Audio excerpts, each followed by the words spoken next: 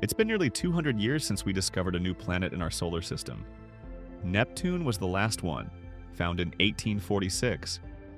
But now, scientists believe they've found evidence of something unexpected lurking in the dark, icy regions beyond Pluto, and they're calling it Planet Y. Today, we're diving into this groundbreaking discovery that could rewrite our understanding of the outer solar system. To understand this discovery, we must discuss the Kuiper Belt.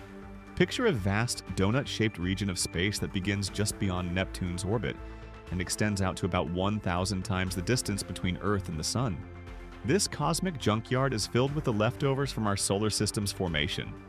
Icy, rocky objects that never quite made it into full planets. Most of these objects are tiny by planetary standards. Even Pluto, the most massive known resident of the Kuiper Belt, is just 0.2% the mass of Earth.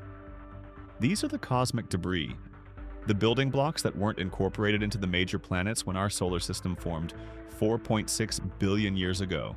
Scientists have suspected something much larger might be hiding out there for over a decade. This theory, known as Planet X or 9, emerged when astronomers noticed something strange.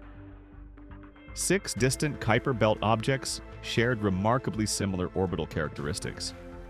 They were aligned in a way that seemed too organized to be random. The leading explanation? A massive undiscovered planet, perhaps 5 to 10 times the mass of Earth, was gravitationally shepherding these objects into alignment. But despite years of searching, Planet X remained elusive. No one could actually spot it. Princeton University's Amir Siraj and his team decided to take a completely different approach. Instead of looking for individual objects behaving strangely, they examined something more subtle orbital planes. Think of an orbital plane as the imaginary flat disk a planet traces as it orbits the Sun. Here's the key insight if there's no large planet in the Kuiper Belt, you'd expect the average orbital plane of Kuiper Belt objects to match that of the inner solar system.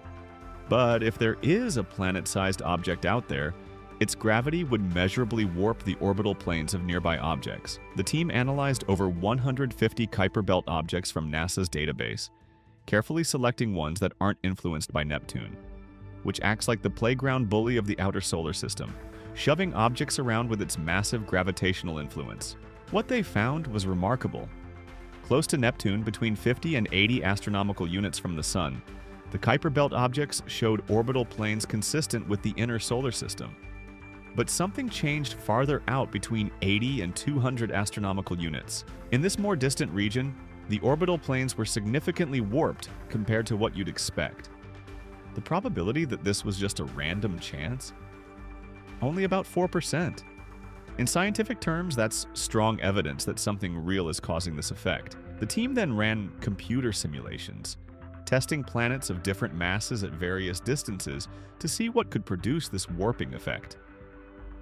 After extensive modeling, they narrowed down the culprit, a planet between 25 and 450 times more massive than Pluto, orbiting somewhere between 100 and 200 times Earth's distance from the Sun.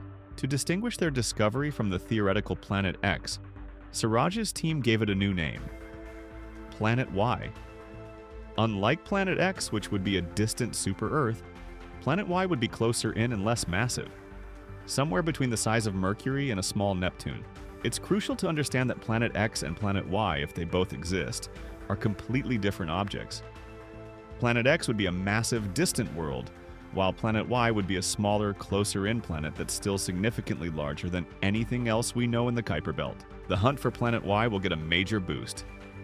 The Vera C. Rubin Observatory in Chile is beginning its legacy survey of space and time, a 10-year project that will discover 5 to 10 times more Kuiper Belt objects than we currently know about. This flood of new data will either confirm Planet Y's existence by spotting it directly, or rule it out by providing enough new objects to map the Kuiper Belt structure definitively.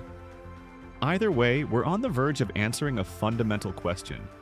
Are there still undiscovered worlds in our cosmic backyard? The search for new worlds continues, and our solar system may still hold surprises that could reshape our understanding of planetary formation and the history of our cosmic neighborhood.